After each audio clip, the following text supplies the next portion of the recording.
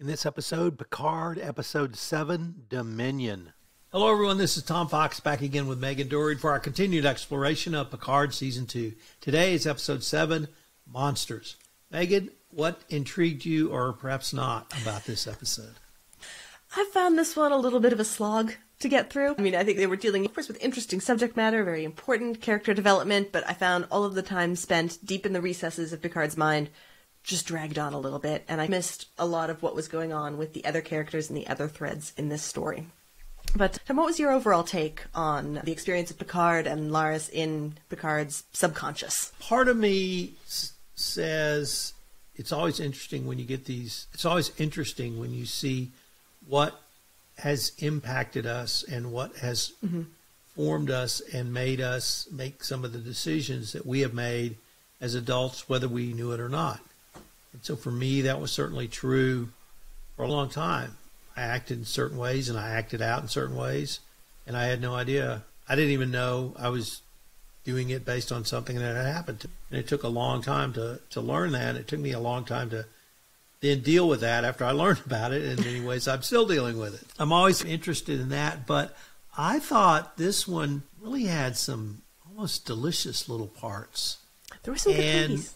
Yeah. The of course, anytime Guinan is involved in anything, no matter who plays her, it's great. And I was really intrigued about the El-Aurian ritual she used to summon Q, and that led to kind of a dialogue between her and Q, essentially saying, oh, "We haven't met yet," telling the younger Guinan that, obviously implying they had, but we know they had from TNG, and that the, actually Q and the El-Aurians, the Q, uh, the Continuum and the El-Aurians were enemies for a long time, and they didn't have a real hot shooting war, but they had a cold war. By the time it got to TNG, there was no. They clearly weren't friends, but they at least tolerated each other, and Guinan could talk about Q dispassionately in a way she really couldn't talk about the Borg because of what the Borg had done to her. I was really intrigued by that whole part, learning more about Guinan and her people. And then we get the introduction of this FBI agent who I had thought was just a comic relief character. At least he was to- funny. like to he me, was a yeah, Joe Friday in the 21st century, and he really, I think, plays an important role as we go forward. So I was really in, intrigued by that. And then the last thing was we began to see, maybe we've seen it all along, the romance between Rios and Teresa.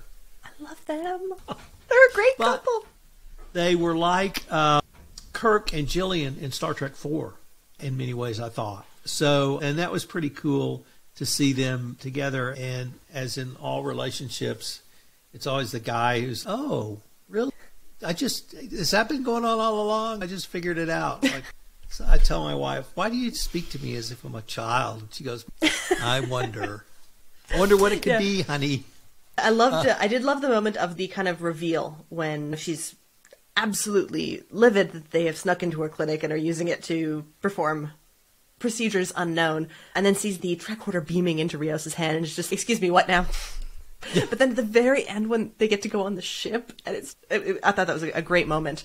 Yeah, I, love that whole part of it. And as you were saying with the when uh, was explaining how El-Aurians think about time, that metaphor of time in the bottle, a moment of time captured and able to be recalled, I thought that was just a, a beautiful idea. So I, I did that too. And I thought with the FBI agent right at the end, my one of my first thoughts was that he was actually he was a time cop rather than an Earth of that time three letter acronym employee guy. And I I looked him up, and he has actually played a time cop on Star Trek. He was in Voyager, I think, a guy uh, but yeah, as an actual time agency enforcer. So I thought that was interesting. Great choice for a character, and uh, his delivery was great. Yeah, I thought he, he was one of the highlights of the episode for me, I think. So I, I get, I'm not sure this was a filler episode, but it did slow down to tell us a lot of different things. But it gave us sort of these delicious little crumbs Little or moments. eggs or cookies or moments that makes this series so cool and mm-hmm. why we wanted to talk about it. What about the reveal of Tallinn? This is the episode she reveals she's a Yes. Romulan. And I had thought this meant she was Laris, ancestor, although perhaps it wasn't that clear. Any thoughts on that one way or the other? That's what I definitely hit down that you know, she was a, a Romulan after now. I think it, Picard said, "Oh, you must be an ancestor of this Romulan I know in my time." I think the, the demonstration of her technology was as interesting as anything else, and therefore the technology of the supervisors and the power that they have to influence how things look, how things appear. But beyond that, I didn't see too much of it beyond that yet. I think we'll have to see what happens next. I hope our listeners will stick around for the final episode, at least on this particular podcast, episode 8 Mercy. I am Tom Fox. And I'm Megan Dougherty. See you next time. This is Tom Fox again. Thank you so much for listening to this episode of Because That's What Heroes Do.